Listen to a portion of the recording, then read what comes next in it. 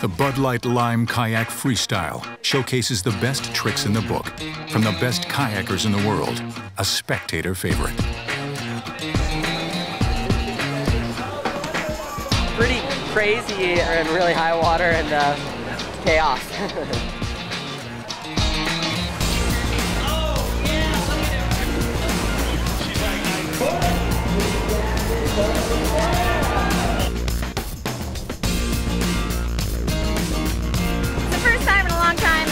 seen water this high here and it's game on. So super fired up to actually pull off what I wanted.